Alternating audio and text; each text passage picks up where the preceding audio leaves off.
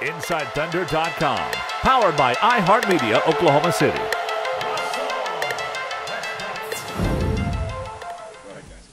Steve, what was this whole experience like for you? Obviously, a a big, unexpected change in the middle the season and coming and join this team.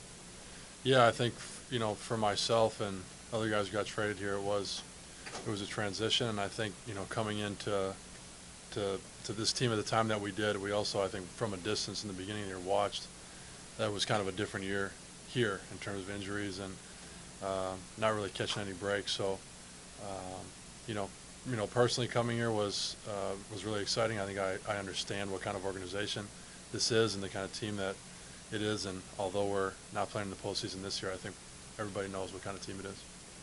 Say what kind of organization it is, what kind of organization is it? I think it's top notch. I think it has great people. I think it has uh, multiple MVP candidates. I think um, it has a community that I think you saw last night when we got home from the airport. There were hundreds, if not thousands, of people waiting outside after a loss. Um, I think that's what kind of organization it is.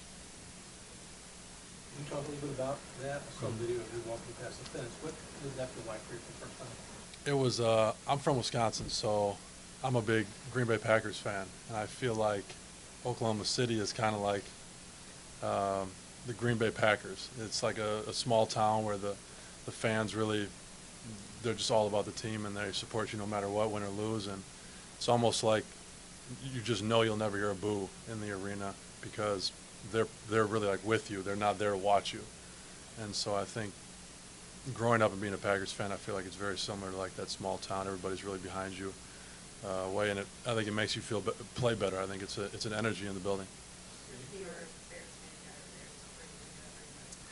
Uh, he- he'll be fine. It's been a rough couple decades for him. We'll always have eighty-five. Always at 55. Do you feel like they brought you in, obviously for your shooting, your basketball ability, but, you know, to be a locker room leader, uh, in some sense?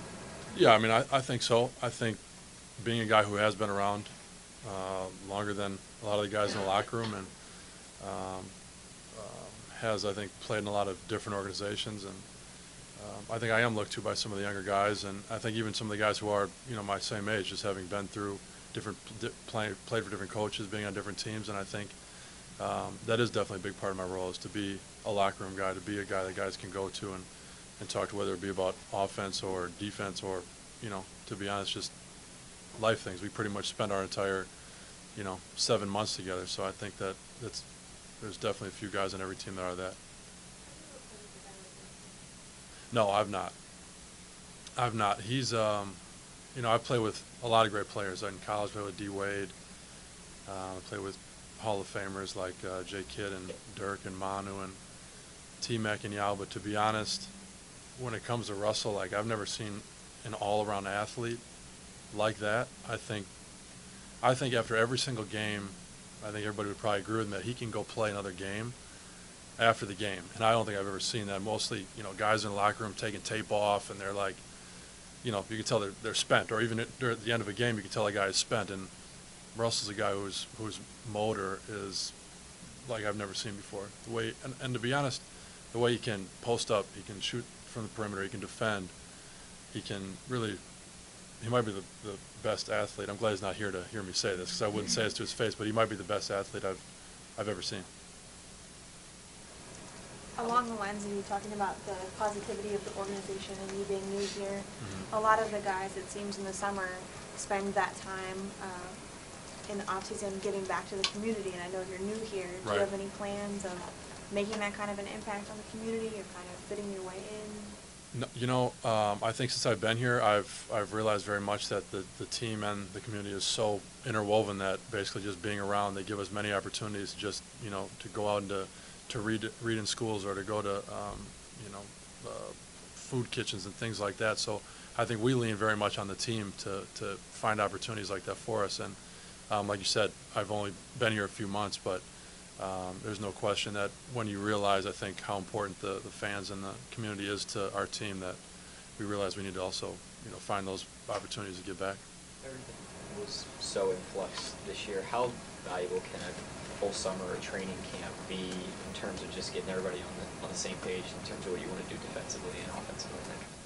Yeah, I think to be honest, just the, the time for guys to get healthy is is the biggest thing. Obviously, um, to come back fresh, like you said, next year, hopefully healthy bodies, and there'll always be changes. I think to an NBA team, that's just kind of the nature of the of the business. But um, I think you do see, you know, how big a piece Enes has become, and obviously we're all excited. to, I think see, you know, what Russell and Enes and Kevin and Serge and everybody healthy will look like, and so I think a training camp and starting a season out together does have a really big impact. So, um, you know, we just hope that it can be a, a lot more smooth next year. Where do you think Enes can get better defensively, and where have you seen him maybe continue with the longer? You know, I think he's been around, uh, you know, Mark Bryant quite a bit since since he got here. He's kind of mentored him very much, and I think for Enes, it's not like a strength issue. It's not a quickness issue. He has those things. I think it's really just like it's an education on like basically how to how to do certain things, and I think Enes is so so gifted that he gets away with a lot of things, and I think um, he's young and he's still learning. Like he needs to really lock in in certain situations, and that's really what it will take for him to be to, to make those strides defensively. And I think he will. And I think being in this organization where you know development is a big part of it, I think you'll you'll see him make strides. You can talk about Russell's ability to almost play two, uh, possible physically, but the mental side of things, how have you seen him mentally able to handle everything that was put on him? You know, to be honest, I, I was only here for, you know, part of the year, so it's, I think it's hard to say because I know a lot happened before I got here, but when I got here, he was basically in the midst of averaging a triple-double, you know, so I think it's his job to, when the lights come on, to go out and perform. Um, and I know sometimes he likes to, what I like to call angry Russell. He likes to put on his angry Russell face with the media and do that, but I also think that if that's what makes him tick, or if that's when that's what it takes for him to be at his best, that mindset, then I think we probably all agree. Then more power to angry Russell. But I, I just think that you know when the lights come on, that's what we expect from him is to play at a high level, and so I think mentally um, he found I think the place he needs to be to perform at at that level. What's different with you, with you guys not dealing with the? I guess because I just read some articles and those kinds of things about like him interacting with the media, um, I was a bit shocked that there was kind of like whatever little spat or whatever that was the way he uh, gets angry sometimes uh, because in the locker room I think and if you guys the more you're around you probably see like he has a side to him that's not that at all. He's just like the nicest most normal guy uh, but on the court I don't think that he's his best basketball player when he's the nicest most normal guy I think he is able to you know, become something else out there on the court. And um, I think that's why he's unique. That's why he's able to be who he is.